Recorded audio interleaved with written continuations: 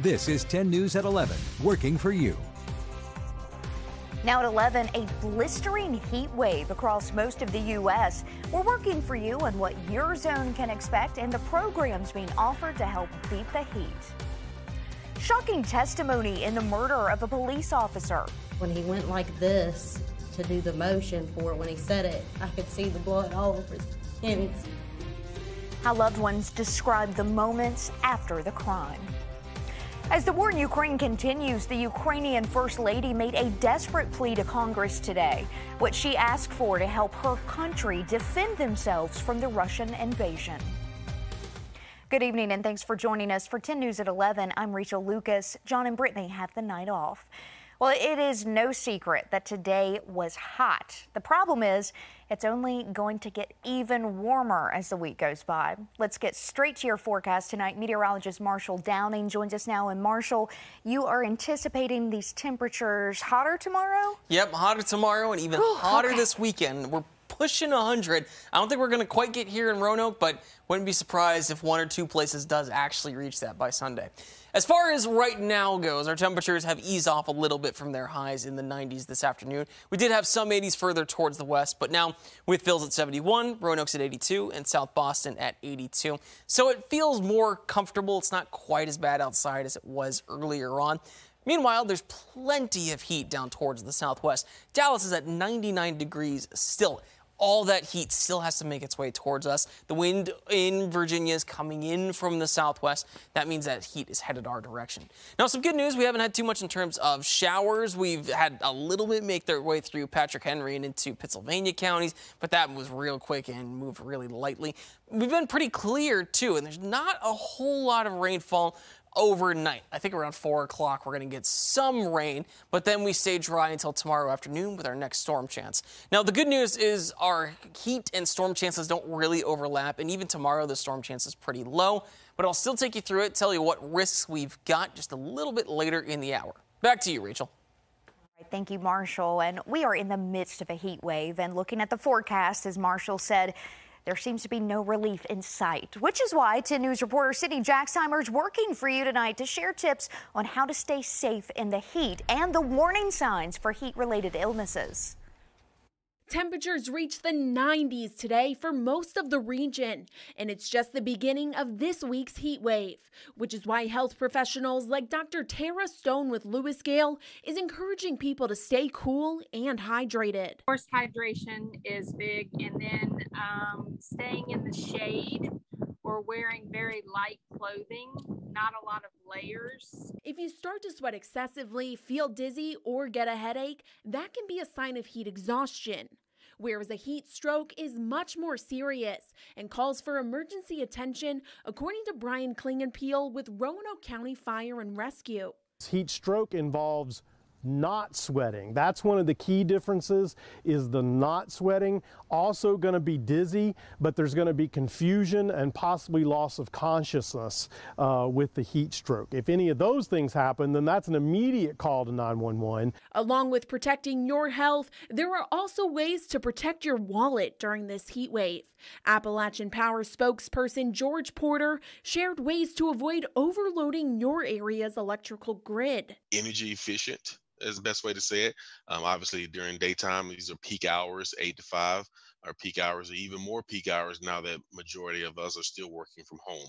Uh, that's changed. So, you know, whenever you can, whenever you can run uh, washing machines and dishwashers later in the evening, early in the morning, that does help uh, with individual load. The heat is expected to subside after the weekend. Until then, stay safe and hydrated. In Roanoke, Sydney Jacksheimer 10 News, working for you. And it's not just us. About a third of Americans are under heat alerts with oppressive temperatures here at least through the weekend. The southern plains are still the hardest hit, as you see there in the map, with nearly a dozen record highs in Texas and Oklahoma on Tuesday. There's also the threat of wildfires, with some states battling multiple blazes. As the heat spreads to the northeast, President Biden was in Massachusetts today to announce new executive actions on climate change after Congress failed to act. Climate change is literally an existential threat to our nation and to the world. In the coming days, my administration will announce the executive actions we have developed to combat this emergency. We need to act. The president has also announced plans to add funding for low income families facing high energy bills. Temperatures will hit 100 degrees this weekend in parts of southwest Virginia. And if you need somewhere to cool off, the Salvation Army of Danville is here to help. They're extending their lunchtime hours this week. The building will be open until 2 p.m. tomorrow and then again Friday for people to cool off. Then on Sunday, they're opening their doors and offering ice cold lemonade, snow cones, popsicles, and ice cream we want to definitely open up the facilities to just for them to catch a breather, get some more cool refreshments before because the next few days it's going to be extremely hot. Lunch will be served through Friday and on Sunday too. Another opportunity to beat the heat is coming from the Central Virginia Alliance for Community. CVALC is offering a fan or window air conditioning unit while supplies last. To apply, you must be 60 years or older, live in Lynchburg, Amherst, Campbell, Bedford, or Appomattox County, and have an income below $1,700 a month for single household or below $2,300 a month for a two person household. To apply, visit cvalc.org. We've got a link on our website as well. And for the first time, we're hearing from family members of the son of a retired assistant police chief in Buena Vista accused of murdering his father. 35 year old Jonathan Patterson had a preliminary hearing this morning.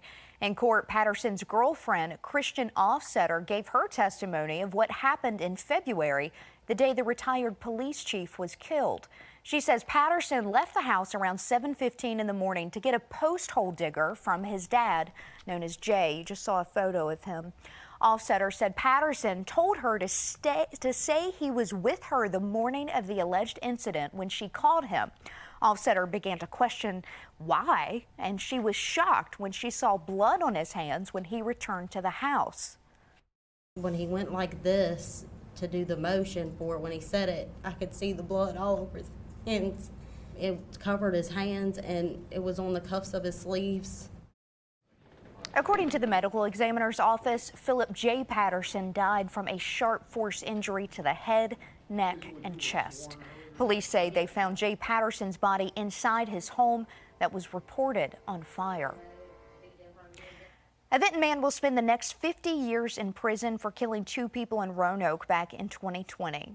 William Ray was sentenced yesterday after a jury found him guilty for the murder of April Barnicoat and Eric Surface. You may remember they were found dead in a home on Queen Anne Drive. Police say Ray knew both the victims. Roanoke businesses need employees. That's why a new program is aiming to help people get a job. Star City Works, which launched today, hopes to fill gaps in the local labor industry. Job seekers can get financial help to attend various trainings or even go back to school. Members of the Workforce Development Board say they wanted a program specific to this area all of our employers, especially in the city of Roanoke, are hurting for employees. And so we think that by helping some of these and providing some of these other wraparound services will help folks kind of realize and get out of the hole and back to work and just help them with that sustainability. The program was created through funding from the American Rescue Plan. Mortgage demands have hit its lowest level since the year 2000 as high interest rates and inflation continue to impact home buyers. According to the Mortgage Bankers Association, applications for a mortgage to purchase a home dropped 7% for the week and were 19% lower than the same week in 2021. While buyers have been contending with high prices all year, rates are now almost double what they were in January. Ivana Trump, the first wife of former President Donald Trump, was mourned today in New York. Trump and their three children together, Don Jr., Ivanka, and Eric, along with their families, gathered at St. Vincent's Roman Catholic Church for a celebration of life service. Ivana and the former president divorced in 1992. She died after being found unconscious at her Manhattan apartment last week. The medical examiner ruled her death an accident, saying she died from blunt impact injuries to her torso. She was 73 years old. As the war in Ukraine rages on, the country's first lady made an emotional plea to the U.S. Congress today, asking for more help. Olena Zelensky is in Washington this week, hoping to secure more weapons and funding to help Ukraine fight Russia. The First Lady's trip comes as Russia is making plans to annex more territory in Ukraine.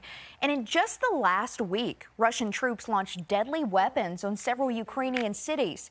But as the atrocities uh, continue in the war ravaged nation, Ukrainian leaders can only hope more help is on the way. I'm asking for weapons, weapons that would not be used to wage a war on somebody else's land but to protect one's home and the right to wake up alive in that home.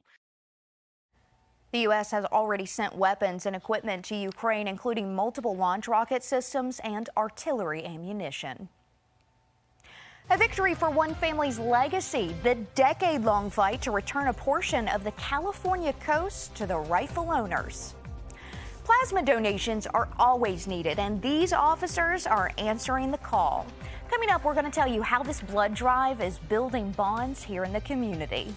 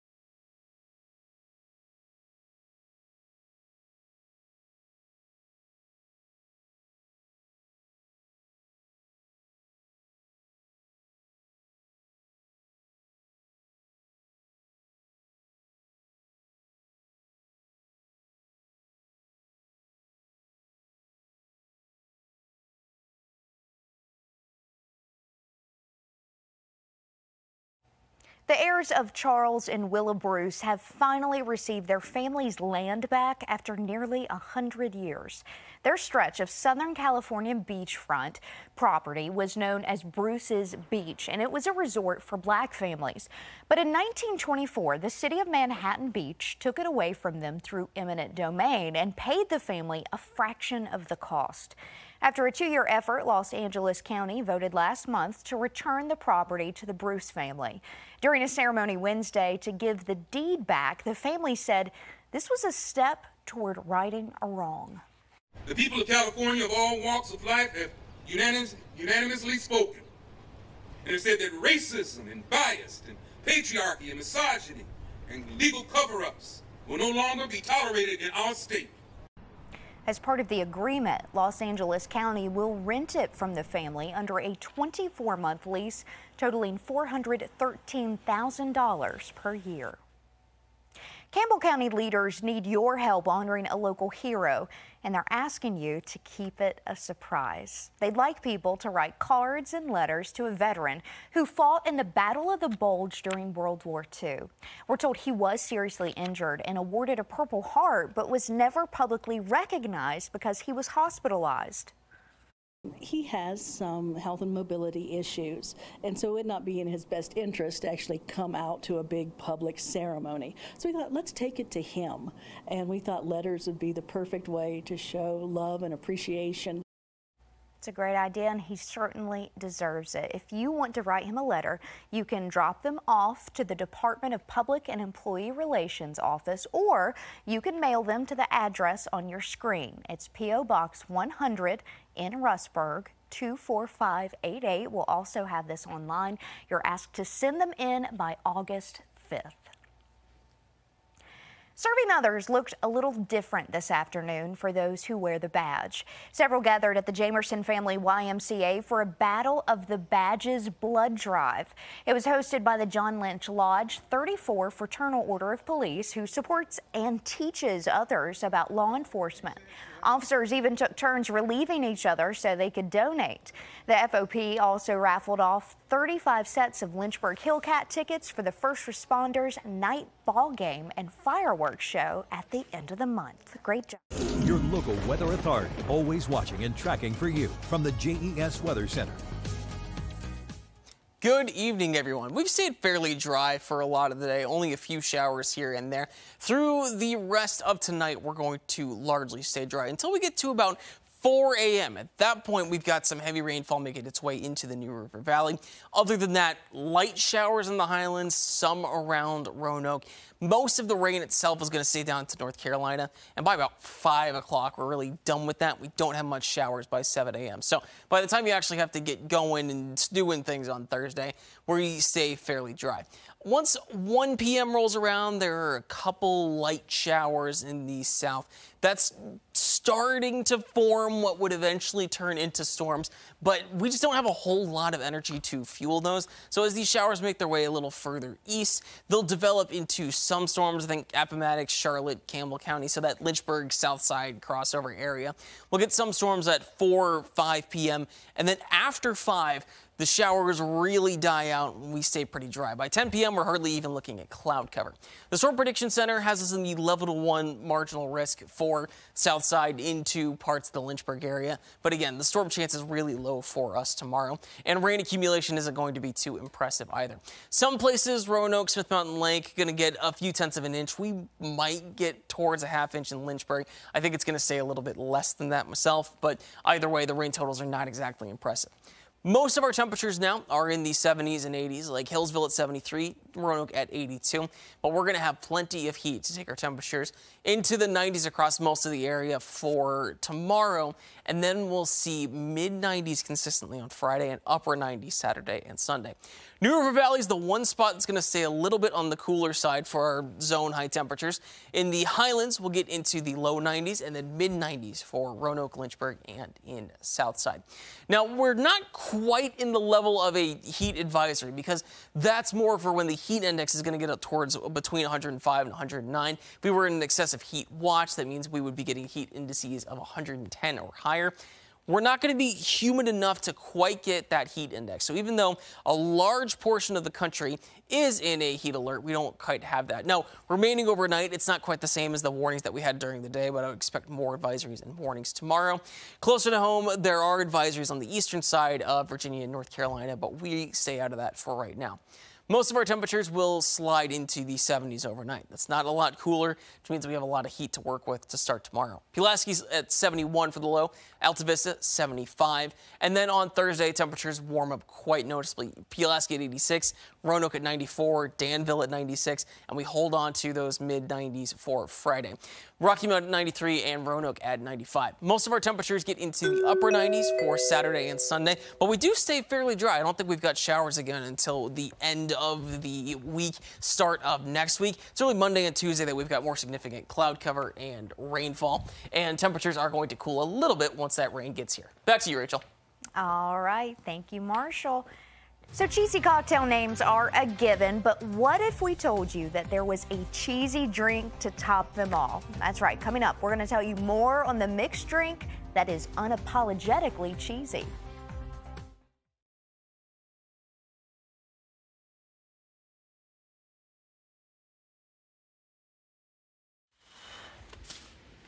Jack 2, test 234, I'm a dogfish.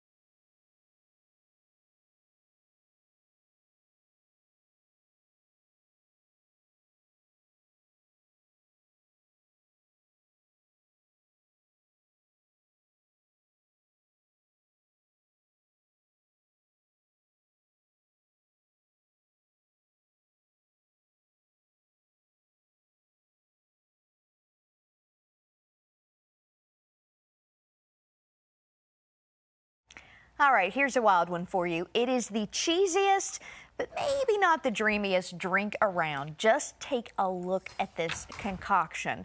You're looking at the Veltini. So it's a take on the classic martini made with Velveeta infused vodka. And yes, apparently there is such a thing. It's then mixed with olive brine and vermouth. Garnishes include Velveeta stuffed olives and jumbo shells. You can get this drink at select BLT steakhouses for 15 bucks. Velveeta is also selling a limited number of kits so you can make them at home. I know that's exactly what you wanted to do, Appy. Is it available in provolone?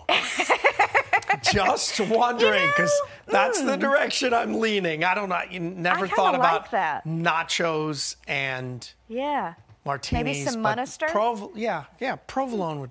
I, okay. I like where your mind's going. Yeah, it's deteriorating quickly. All right, the Tour de France winding down with a new champion, a couple stages away from a title, and we're breaking down the Atlantic division of the ACC as the kickoff is underway in Charlotte. Sports is next.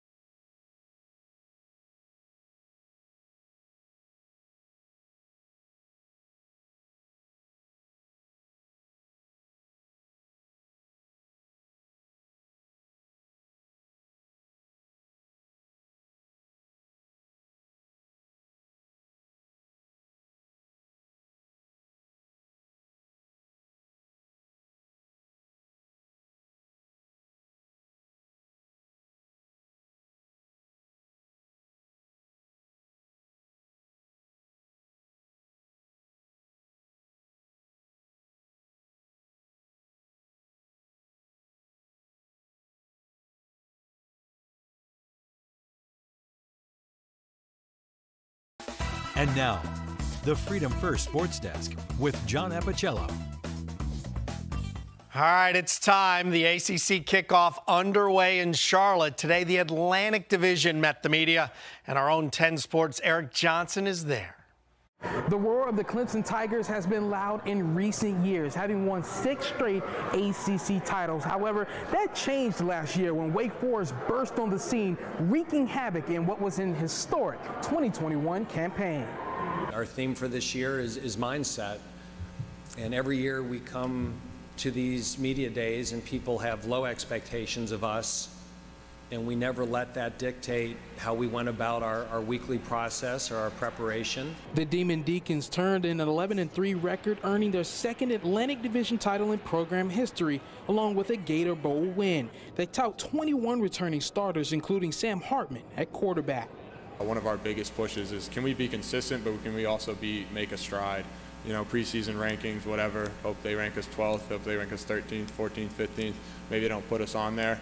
Um, that'd be nice because that's where we live. Wake will be well acquainted with the Commonwealth with the likes of VMI and Liberty on its schedule. So you schedule these non-conference games so far in advance that you, you really don't know what you're going to get when the game gets there. Uh, VMI was a playoff team. Liberty's had great success. As for Clemson, it's hoping to get back to his glory days with DJ Uiagalelei having more experience under his belt. He's got some scars on him and some shrapnel and, and some wounds.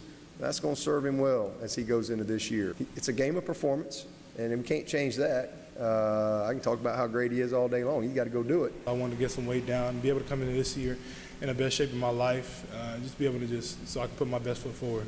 The Demon Deacons and Tigers will face off in Winston-Salem on September the 24th at ACC kickoff in Charlotte. Eric Johnson, 10 Sports. Thank you, Eric. More college football. The CIAA is in town. Last night, the 12 member school's football coaches and staff held that free youth clinic at Salem Stadium. That ahead of Media Day activities today. Bowie State has won three straight titles in this league, but everyone hoping this season returns to something closer to normal after a trying couple of COVID years. Well, us not being able to start camp just right away and being technically out of football for a few years because of COVID we're still interested to see how our guys are going to respond this summer because it's a little different this year where we have a seven-day grace period where we'll report to camp early and we can lift and condition for seven days and then we'll get into the true football aspects of it. So we're excited, but we're also a little, little nervous about what it's going to look like. All righty, we've got stage 17 of the Tour de Carlin, otherwise known as the Tour de France. Another bout with the Pyrenees, four major climbs and a mountain finish. Now, Brandon McNulty out of the United States, Jonas Vingegaard of Denmark, and today Pogačar He's a Slovenian rider and the two time defending champ. They led the way. This time, though, it's Pogačar right here, edging Vingegaard for the stage 17 win. But Vingegaard still holds the overall lead by 2 minutes 18 seconds. And John Carlin's favorite rider, Geraint Thomas, the 2018 champ, is 4 minutes and 56 seconds behind. So I don't think he's going to win. News and notes for you. The 49ers starter Jimmy G has been given permission to seek a trade 33 and 14 as a starter. Now, the River Turtles and Otterbots finished 6 6 after 9, but they play a sudden death in the Appy League. You either score or you hold them and Connor Dykstra played a Jevin, Jevin Relaford in sudden death, and the Bots get the victory. And Swedish golfer Henrik Stenson moves to the LIV Golf Tour, so he is promptly removed from his Ryder Cup captaincy for 2023. Here comes your light of the night. Oh, the Heinz sign being oh. removed from what we used to know as Heinz Field in Pittsburgh. It's now Acrisure Stadium. Oh. I'm not a Steelers fan, but I am a Pennsylvania native, and this is a tough one. That is a tough one. it just, one. I don't think I'm going to be able to say that for a long time. So i will yeah. be like, uh, the game's in Pittsburgh at some stadium. The former Heinz Stadium. The former Heinz Field. There you have it. Now back to you. All right, thanks, Happy. And thank you for watching 10 News at 11. The Tonight Show with Jimmy Fallon is next.